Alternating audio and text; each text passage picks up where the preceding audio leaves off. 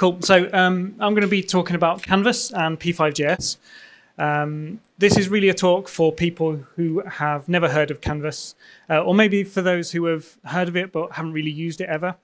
Um, sorry for those of you that perhaps know Canvas in and out, uh, but this luckily this is only a 10-minute talk, so you can have a nap for 10 minutes if you want. Okay. Just waiting for everybody to close their eyes. Um, um, cool. So um, if you've not come across Canvas before, uh, it's part of HTML. Well, the Canvas element um, is part of HTML. Uh, it allows you to draw and manipulate pixels to the, the Canvas element. So I'm clicking a bit. I think I'm okay. I think it's just my microphone. Um, you can interact with uh, the Canv Canvas element uh, using JavaScript uh, with what's called the Canvas API. Uh, and the Canvas API provides a means for drawing graphics via JavaScript uh, to the HTML Canvas element. amongst other things, it's often used for animation, games, data visualization, photo manipulation, real-time video processing, and then also kind of more creative things, artistic things as well. Um, so this is an example of what the canvas element looks like. Uh, it's not that kind of amazing. Uh, you've just got a start tag and end, end tag.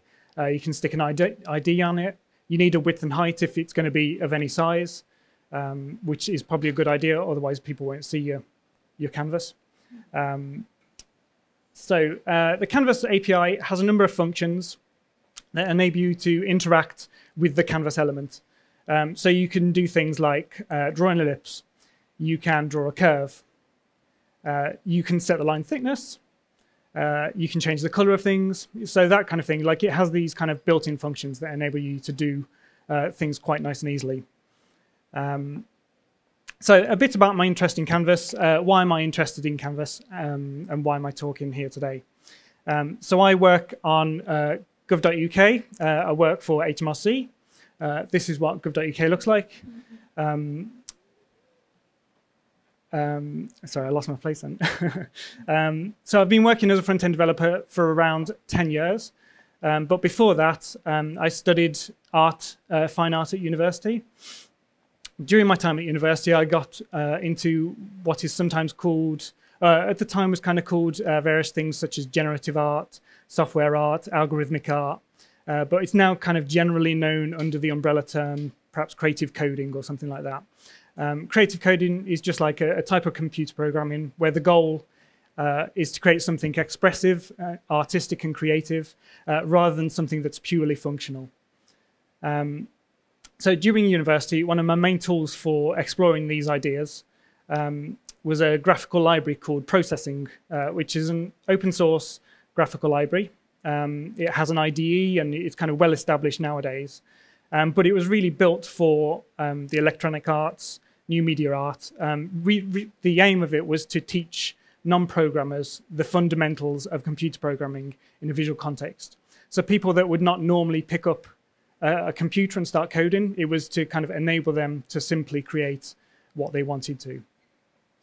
Um, the underlying language uh, that processing was built on top of was Java. Um, so not great for a front-end developer particularly. Um, but things have come a long way. So we now have the canvas element. Um, and then from that, uh, on top of this, we have P5JS, uh, the P5JS library, which has the same goal as processing does, uh, which is to make coding accessible for artists, designers, educators, uh, and beginners to uh, people, uh, as I said, who have never touched code before. Um, so P5JS and um, Canvas. Uh, it's now in a browser context. You're not creating applications. Um, so there's a lot of kind of flexibility and stuff that we can do with, uh, with Canvas. Um, but the functionality is identical to processing, so um, or, or, very similar at least. So like a lot of the functions that processing created um, has now been ported to P5JS. Um, so I'm just going to show you um, a very simple demo of what um, like vanilla canvas looks like and then what a P5JS version looks like. So you can see here, I've got a very simple HTML file, nothing special going on. Uh, we've got a canvas element at the bottom, and then I'm linking out to a sketch.js file. Uh, P5JS version, um, very similar. Uh, but we don't have the canvas element. I'm just linking out to uh, the p5.min.js library, in this case using a CDN. And then again, I'm just linking to um, my sketch.js.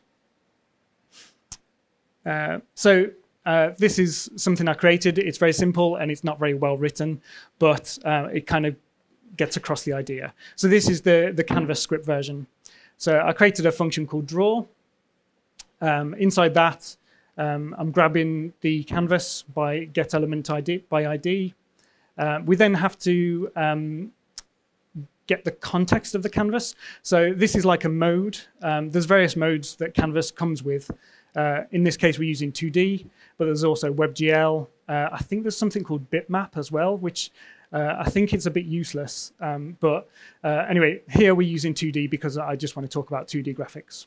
Uh, then I'm doing a, a few other things, um, things like fill style, which is like what color do you want to make something. Um, and then I've got fill rect, rect which is um, that's creating a rectangle of a certain size. This, in this case, it's 0, 0, which is top left-hand corner, to 400, 400, which is bottom right-hand corner. I then fill it, which actually draws the, the rectangle. Um, then I change the fill style color to white. I begin a path, in this case an ellipse, draw my ellipse. There's loads of different things. I can't tell you what they all do, but I know the first four, which is x, y, height, and width. Um, we then fill it, and then we stroke it. Not like that. Um, we like so stroke is like like the outline of it, um, and by by default it's like a black one pixel line. Um, just realised that you can't see the very bottom. Um, anyway, so uh, then window.request animation frame, which is, uh, for those that are familiar with it, it's kind of like your um, animate. So it requests the browser to render what you want it to. So in this case, uh, all the stuff that comes, uh, I then call draw, and then it just loops again and again inside this function. Uh, you can't quite see here, but I actually do execute the function right at the bottom, but that's covering it for some reason. Um, so that's our vanilla canvas version. Um, the P5 version, uh, the, the kind of like, it does exactly the same thing, looks like this. Um, so it's a, it's a lot smaller, uh, a lot easier to read perhaps. Um, so with P5.js, you have to have two functions. Uh, you have to have the setup function and you have to have the draw function. I, I think that's true.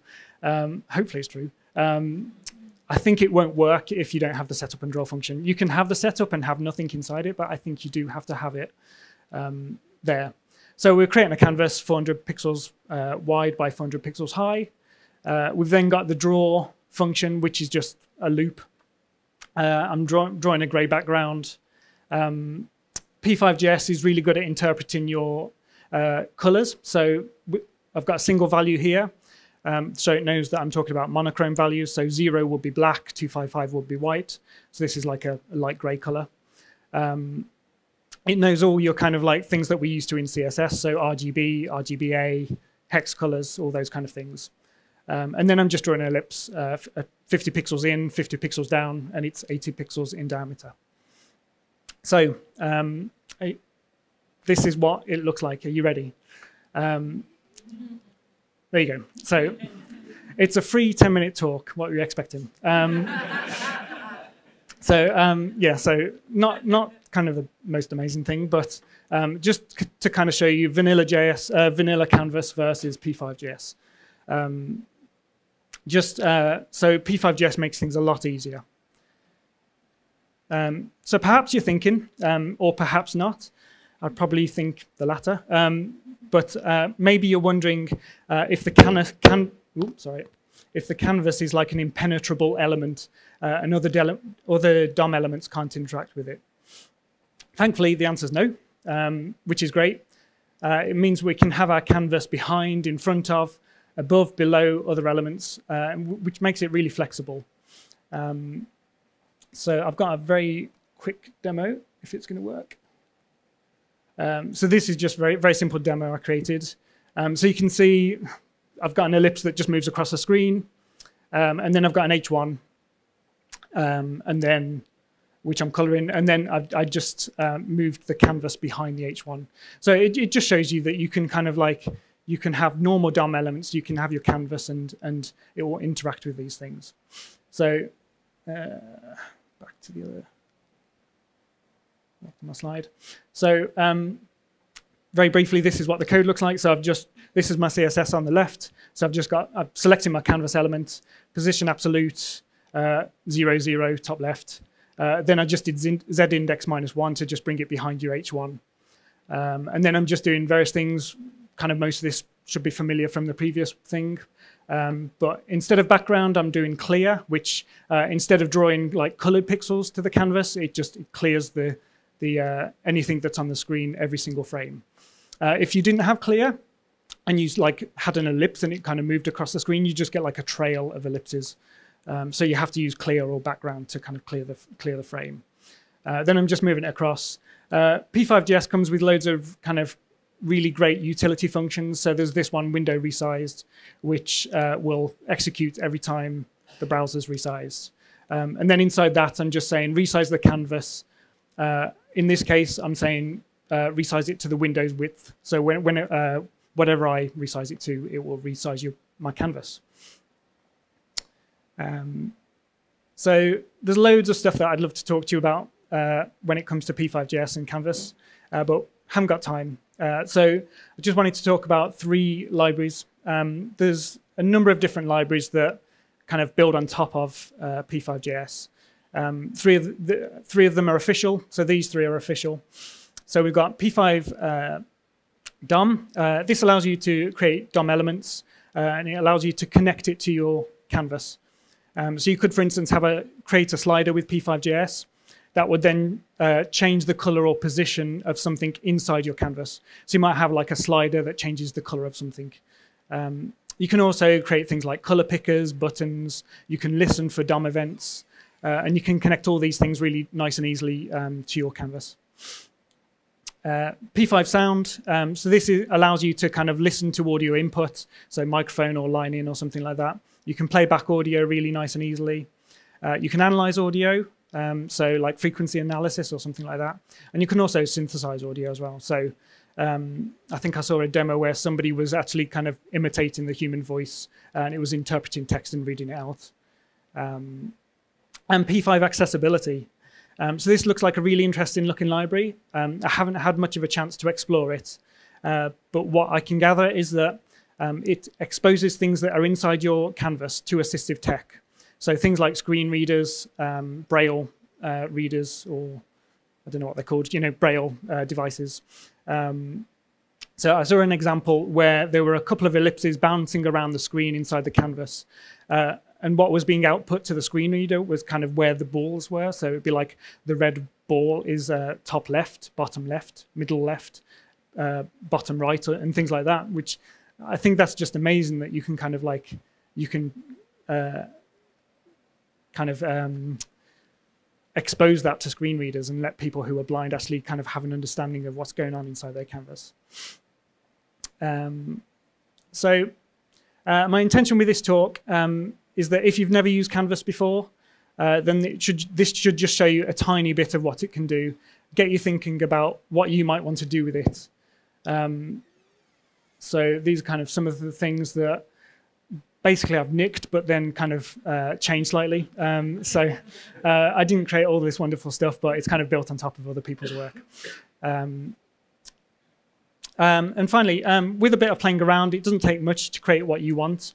Uh, so let's say that you're bored one weekend, um, and you might decide to create something like this in Canvas.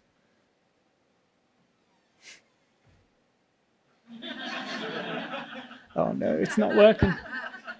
Uh, what? Oh, I should have tested this anyway. There's my head.